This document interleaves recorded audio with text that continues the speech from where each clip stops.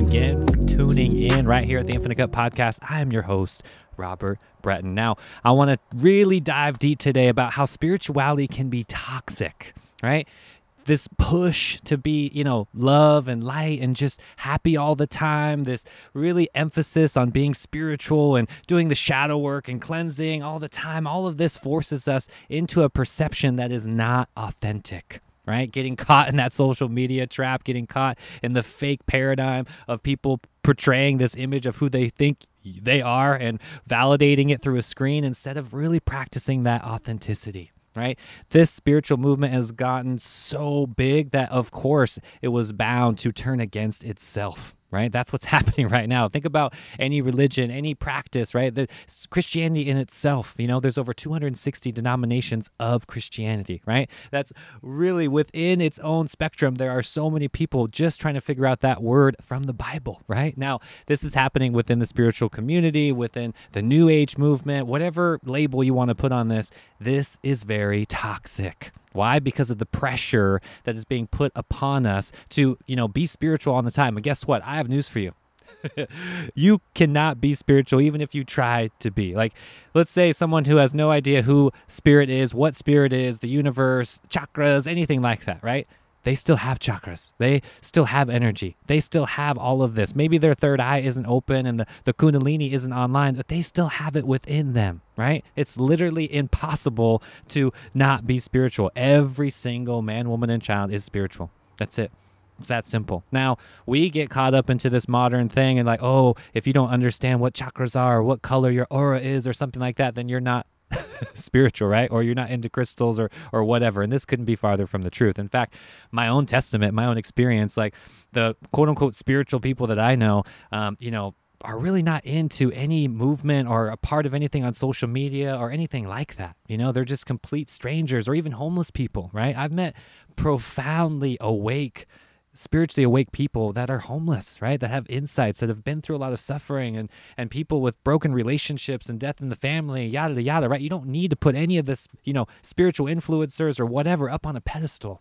This is what's creating the problem. Your brain cannot get beyond that judging part, that comparing part that says, "Oh, I'm following this person because they're really spiritual. I just want to be like them." Right? You're only telling the universe what you don't have. Again, you are already spiritual. In fact, you can't be more spiritual than that other person. It's just not possible. Spirit is spirit. That's it.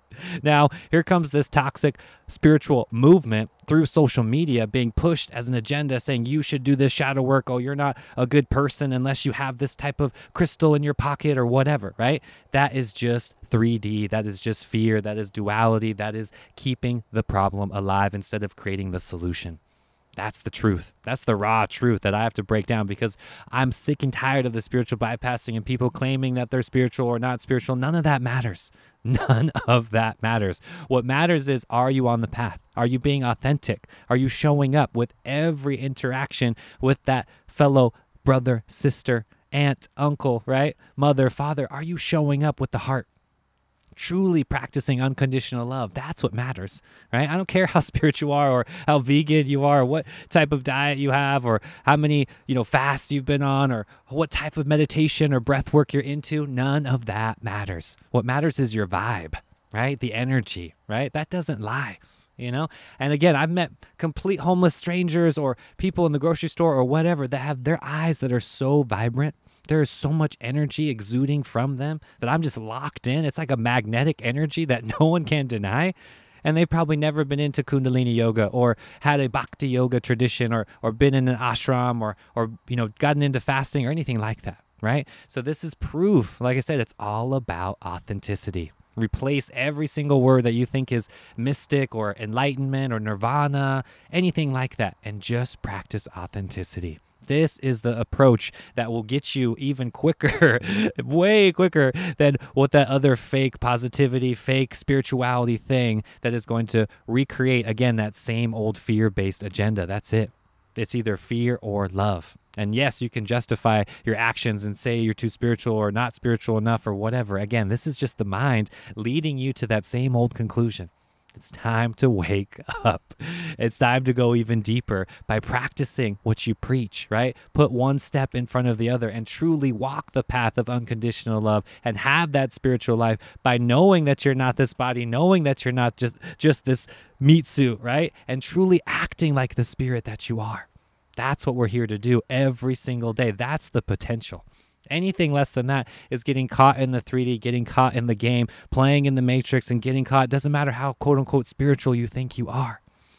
It's time to go even deeper and let all of those ideas go of what you think spirituality is or isn't, because it's all spiritual. And if that word triggers you, then it's all energy right? Everything is energy. Think about this universe. Think about every cosmic thing that you can come up with, even beyond matter itself. It is energy. This has been proven, right, with quantum physics. Through everything in our modern age is slowly proving this idea that you are not physical. You are infinite. Now, have you experienced that? right? Because when you do, you can't go back. You won't go back to that judging mind. You won't go back to all of those lower vibrational habits because you now know how infinite you truly are, not just as a idea, but as a direct action. That's what we're here to do. So no more blaming, no more sweeping our problems under the rug, no more getting caught into these, you know, dialogues on social media, internet trolls. Let's practice authenticity. This fake spirituality is a trap just like any other trap. Now, think about the older traditions, right? Hinduism, Buddhism, doesn't matter, right? Been around for thousands of years. There's nothing to reinvent here. We don't have to reinvent the wheel at all. we just have to keep doing what these ancient yogis and rishis have been doing for thousands of years. That's it. We need to meditate and go within, right? Quit blaming, get out of that judging mind and focus on the higher self. This is right in front of us. That's our homework. I know it's not easy, and I want to really extend my gratitude to each and every person that is on the path right now, that is doing the work, because it's not easy. It takes a lot of courage, and that's what's needed right now the heart. It's time to let go of the mind, let go of that 3D fear thing, and open up to this idea that the heart is where the magic is. I love each and every one of you. Shout out to the Inner Circle members. Shout out to everybody on the Patreon page. Until next time, guys, I love you. Infinite love and infinite peace.